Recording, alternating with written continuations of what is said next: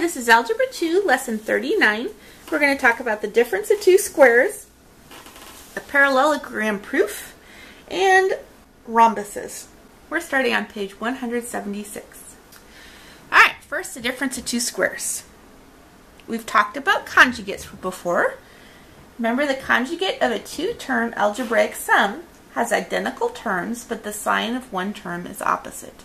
So negative 2x minus 3y is the conjugate of negative 2x plus 3y. 3x plus 4 is the conjugate of 3x minus 4. a plus b is the conjugate of a minus b. Okay? When we multiply conjugates, when we multiply conjugate binomials, the product are not going to have a middle term. So you remember when we multiplied um, a plus b times a plus b, we get b squared plus ab and ab plus a squared. So we have a squared on this side and b squared on this side, and in the middle we have this middle term, right? When we multiply conjugates, we don't have the middle term. So let's try this one. We've got negative 2x minus 3y times negative 2x times 3y. 3y times negative 3y is negative 9y squared. 3y times negative 2x is negative 6xy. Negative 2x times negative 3y is positive 6xy. And negative 2x times negative 2x is positive 4x squared. Okay? So we've got negative 9y squared. Here we have negative 6xy, negative 6xy, and positive 6xy. So they cancel. And over here we have 4x squared. Okay? Here we have 3x plus 4 and 3x minus 4. Negative 4 times positive 4 is negative 16. Negative 4 times 3x is 12x. Ooh, negative 12x. 3x times positive 4 is positive 12x. 3x times 3x is 9x squared. Here we have negative 16, negative 12x plus positive 12x cancels, and we have 9x squared with no middle term. The middle terms cancel. See? Alright, we've got a plus b times a minus b. This time we'll do it the FOIL method. So the first are a times a. It's a squared. The outside is a times b. It's negative b, so this will be negative ab. The inside is b times a, so that's positive ab. And the last are b times negative b, so that's negative b squared. Negative ab plus positive ab cancels, and we're left with a squared minus b squared. Okay? Each of these products, a squared minus b squared, 9x squared minus 16, and 4x squared minus 9y squared, can be written as the difference of two squares, of two squared expressions. So we have 4x squared minus 9y squared. The square root of 4 is 2. The square root of x is x. So 4x squared is the same as 2x quantity squared. Okay, the square root of 9 is 3. The square root of y is, I mean, y squared is y. So this is the same as 3y quantity squared. It's the difference. We're subtracting two squares. Okay, over here we have 9x squared minus 16. The square root of 9x squared is not is 3x squared. The square root of 16 is 4. So 9x squared minus 16 is the same as 3x quantity squared minus 4 squared. So it's the difference, it's subtracting two squares. Okay, and of course a squared minus b squared is the difference of two squares. You will learn to recognize the difference of two squares, which will make factoring much easier. So look for these as you are factoring. Here are some examples. Solve 4x squared minus 9 equals 0 by factoring. Okay, so 4x squared is 2x quantity squared, right? And 9 is 3 squared. So this is a difference of two squares. And if you know that, then you can remember that the difference of two squared is formed by multiplying the conjugates of the squares, of the square roots of, the, of each term. So this is going to be 2x minus 3 times 2x plus 3. These two multiplied are going to give us a negative 9. These two multiplied are going to give us a 4x squared. If you add, if you multiply these two, you get negative 3x. I'm sorry, negative 6x. If you multiply these two, you get positive 6x. So the sum, the products of this and this added together cancel each other out, which is going to give you this. Alright, and now we can solve for x. We've got 2x minus 3 equals 0, or 2x plus 3 equals 0. Anytime it says solve, that means we're solving for whatever the variable is. You need to keep going after this. Don't stop at factoring. Alright, we're going to add 3 to both sides here. We've got 2x equals 3. Divide both sides by 2, and x equals 3 halves. Over here, we're going to subtract 3 from both sides. 2x equals negative 3 and x equals negative 3 halves. Anytime you have the difference of two squares, when you factor them, x is going to equal opposites. It's going to either equal positive or negative 3 halves. Okay? So instead of writing x equals 3 halves, comma, negative 3 halves, we can just do it with a plus or minus sign. Every time you do a difference of two squares, it's going to come out with an answer like this. Okay, let's try another one. We've got solve 81m squared minus 25 equals 0. 81 is 9 squared, m is m squared is m squared, and 25 is 5 squared. So that leaves us with 9m plus 5 and 9m minus 5. 9m times 9m equals 81m squared. Positive 5 times negative 5 equals negative 25. 5 times 9m is 45m. 9m times negative 5 is minus 45m. So the 45m's cancel each other out, leaving us with the difference of two squares. Alright, now we can set these equal to 0. 9m plus 5 equals 0, or 9m minus 5 equals 0. Solve for m. Subtract 5 from both sides here, and 9m equals negative 5. Divide by 9. And here m equals negative 5 ninths. These are the kind of answers you're going to get most of the time. They're not pretty. 9m equals positive 5. Divide both sides by 9. And m equals positive 5 ninths.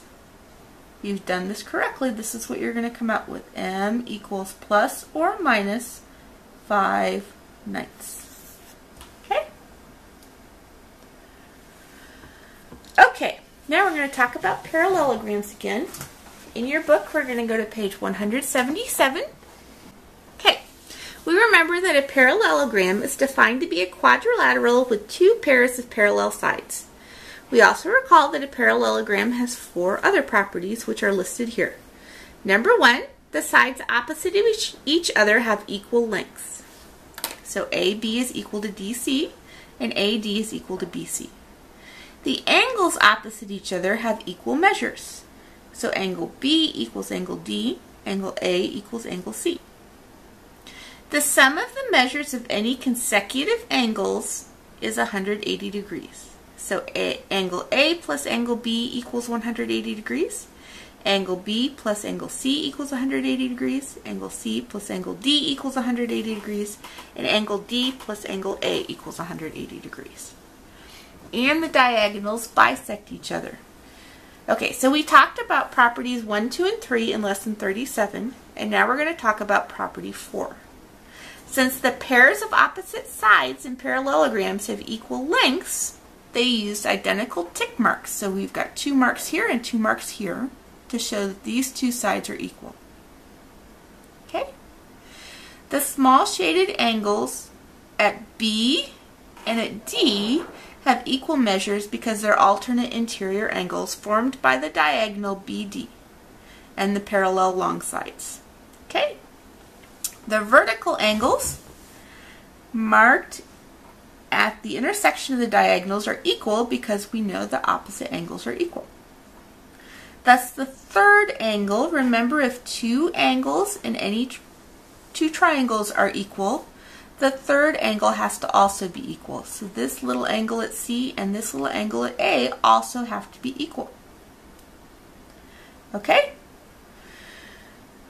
So now we have an angle, angle, angle triangle. And we know that this side equals this side. So that makes it an angle, angle, angle side triangle again. So we've got this angle, angle, angle, and this side and this side. So it's an angle, angle, angle side. And so congruent parts of congruent triangles are congruent. So that means that A has to equal C because that's the congruent part. This angle is opposite this part, not C, A to M and M to C. This angle is um, opposite this side, and this angle, which is the equal angle, is opposite this side. So these are the corresponding angles, I mean the corresponding sides and the corresponding parts of congruent triangles have to be congruent. So A to M and M to C have to be equal. And the same is true of B to M and M to B. This angle is, nope. This side is opposite this angle, this little interior angle and this side is opposite this little interior angle. These are alternate interior angles, so they're equal, and therefore these guys have to be equal. Okay? So, since this side equals this side, and this side equals this side, this means that these long diagonals actually bisect each other, and they're cutting each other in half. Okay? So that is the proof of number four. You're going to be using this fact to solve things. This is why we know it's true. Alright, next page we're going to talk about rhombuses. A rhombus is a parallelogram that has three additional properties. So everything that's true about parallelograms is true about rhombuses. A rhombus is a parallelogram whose four sides have equal lengths. So AB equals BC, which equals CD, which equals AD. Okay? The diagonals of a rhombus bisect the angles of the rhombus. So not only are the angles, the diagonals going to bisect each other, but they also bisect the angles. So this little angle 1 equals angle 2. It's going to cut this angle in half. And angle 3 equals angle 4. The diagonals of a rhombus are perpendicular bisectors of each other. So not only do these diagonals um, bisect, but they're bisecting at 90 degrees. Okay, so this makes a right triangle, This makes a right triangle, this makes a right triangle, and this makes a right triangle. Okay? Since ABCD is a rhombus, that means side A is congruent to side B. I mean, side AB is congruent to BC. Also, we know that in a triangle, the op angles opposite the angles opposite sides of equal lengths have equal measures. Therefore, angle 1 has to equal angle 3 because the rhombus is a parallelogram, side BC is parallel to side AD, and side AB is parallel to side DC.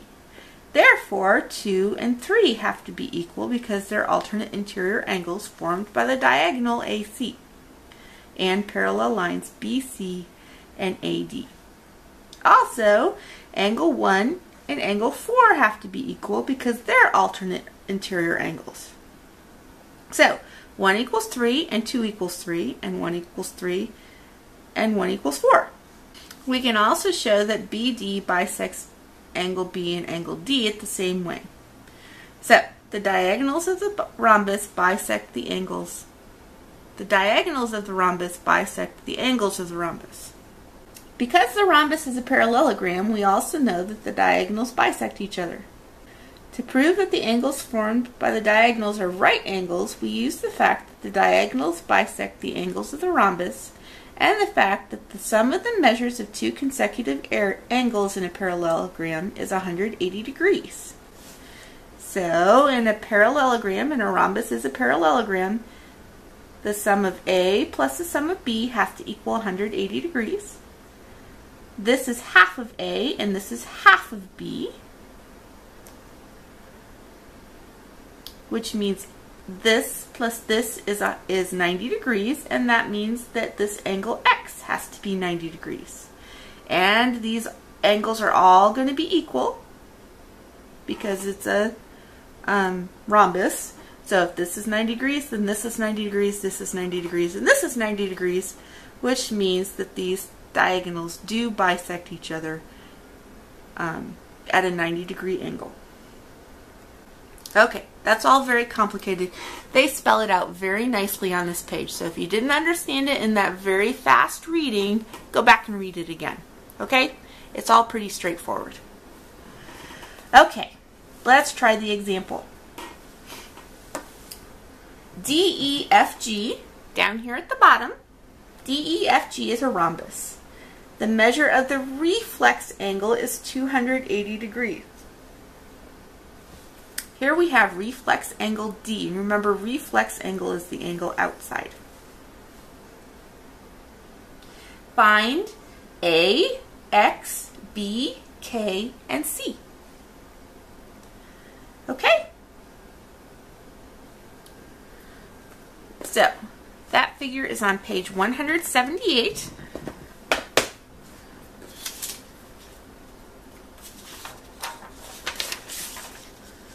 And since we have looked at that, you keep looking at yours, and I'm going to write on my page.